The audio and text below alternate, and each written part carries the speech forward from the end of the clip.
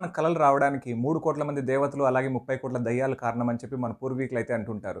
అసలు మన కళలు ఎందుకు వస్తాయి? ఆ కళల యొక్క రిజల్ట్స్ ఏంటి?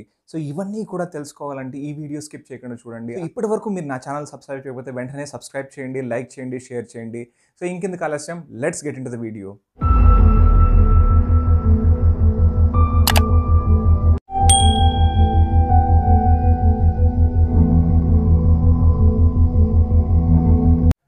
ఒక సైంటిస్ట్ చెప్పిన విధంగా dream is an unconscious psychological phenomenon so అక్కడ డ్యూరింగ్ పారాడాక్సికల్ స్లంబర్ అంటే కళ అనేది మనం నిద్రలో అపస్మారక స్థితిలో మన మనసు ఊహించుకునే ఒక దృశ్యం.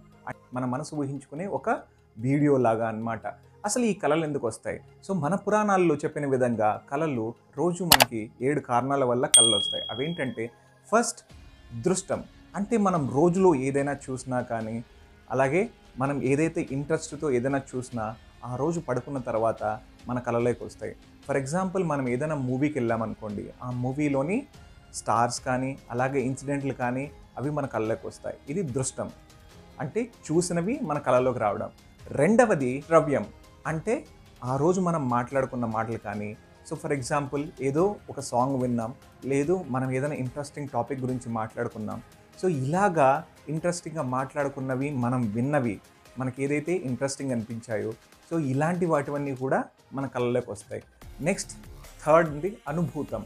అంటే మనం ఏదైనా ఎక్స్పీరియన్స్ చేసి ఉంటాం ఆ డే మొత్తం మీద సో ది బెస్ట్ ఇన్సిడెంట్ కానీ లేదు మనం తిన్న ఫుడ్ కానీ లేదు మనం ఇంకేదన్నా పని చేసి ప్లెజర్ పొందామో సో ఇలాగ మనం ఎక్స్పీరియన్స్ చేసినవన్నీ కూడా ఆ రోజు కళ్ళలోకి వస్తాయి. ఫర్ ఎగ్జాంపుల్ మనం ఏదైనా హోటల్కి వెళ్ళి ఒక మంచి బిర్యానీ కానీ లేదు ఇంకో మంచి ఫుడ్ తిన్నామనుకోండి సో ఆ ఫుడ్డే మన కళ్ళలోకి రావడం అనమాట సో ఇది అనుభూతం. ఇక నాలుగవది ప్రార్థితం. సో ప్రార్థితం అంటే జీవితంలో మనం ఏదైనా బలంగా కోరుకుంటే అంటే మన కోరిక బలమైందైతే సో ఫర్ ఎగ్జాంపుల్ ఒక స్టూడెంట్ ఫస్ట్ ర్యాంక్లో పాస్ అవ్వాలనుకున్నాడు అనుకోండి సో వాడి కోరిక బలమైందంటే ఆ రోజు రాత్రి కల్లో వాడు ఫస్ట్ ర్యాంక్ తెచ్చుకున్నట్టు కల వస్తుంది. లేదు ఏదో ఒక ఫుడ్ కానీ ఒక ఫ్రూట్ కానీ తినాలని కోరిక బలంగా ఉందనుకోండి అప్పుడు ఆ ఫుడ్ కానీ ఆ ఫ్రూట్ కానీ అతను కల్లో తిన్నట్టు అతనికి కళలు అయితే వస్తాయి. సో కోరిక బలమైందైతే ఆ కోరిక మన మనస్సు మనకు కల్లో వచ్చేటట్టుగా చేస్తుందన్నమాట. ఇది ప్రాతితం. నెక్స్ట్ ఫిఫ్త్ వన్ ఇస్ కల్పితం. కల్పితం అంటే మనం కనిపెట్టింది కావచ్చు లేదు మనం ఊహించుకున్నది కావచ్చు. సో ఇలాగా మనం కనిపెట్టింది కానీ లేదు మనం ఊహించుకుంది కానీ ఆ రోజు రాత్రి మనకు కలలో కలగా కనిపించడం అనేది కల్పితం. నెక్స్ట్ భావికం ఆరవది భావికం. సో భావికం అంటే మునుపెన్నడు మన లైఫ్లో జరగనిది జరగబోనిది. ఏ విషయం కూడా ఇది మన లైఫ్లో జరిగితే బాగుండు. ఇది చాలా కష్టమైంది కూడా. అంటే మునుపెన్నడు ముందెప్పుడు మన లైఫ్లో జరగని విషయాలు మన కళల్లోకి రావడం కొన్ని కొన్నిసార్లు మన కళలో ఏమవుతుందంటే మనం ఇంతకు ముందు ఎప్పుడు చూడని వ్యక్తి కానీ ఇంతకు ముందు ఎప్పుడు చూడని ప్లేస్ కానీ మనం వెళ్తూ ఉంటాం ఆ మనుషులతో మాట్లాడుతూ ఉంటాం. కానీ ఈ విధంగా మనం మన లైఫ్లో ఎప్పుడు చూడని మనిషి కానీ చూడని ప్లేస్ కానీ మన కళ్ళలో వచ్చిందంటే అది భావికంగా మనం అనుకోవాలి. అలాగే లాస్ట్ రీజన్ మన కళలు రావడానికి లాస్ట్ రీజన్ ఏంటంటే దోషజం.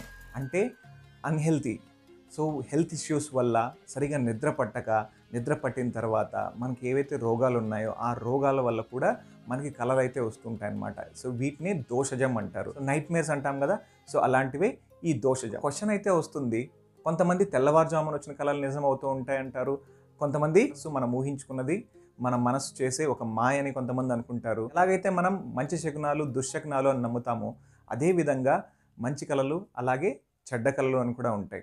ఈ కాన్ఫ్లిక్ట్ అయితే జరుగుతూనే ఉంటుంది. ఇది ఎప్పుడు అంతమవుతుందో ఎవరికీ తెలియదు సో దేవుళ్ళు ఉన్నంత వరకు అలాగే దయ్యాలు ఉంటాయని నమ్మే వాళ్ళు ఉన్నారు let us not discuss about it Vishnu పురాణంలో మార్కండేయ పురాణంలో పరాశర సంహితలో ఈ కళలు వాటి ఫలితాల గురించి అయితే చెప్పారు. ఫస్ట్ మనం మార్కండేయ పురాణం తీసుకుందాం. ఈ మార్కండేయ పురాణంలో మార్కండేయుడు చెప్పిన మాటలు వింటే మన ఒళ్ళు గగురు పొడుస్తుంది. ఖచ్చితంగా ప్రాణం మీద ఆశ ఉన్న వాళ్ళైతే ఖచ్చితంగా భయపడతారు. అసలు ఆయన ఏం చెప్పాడు?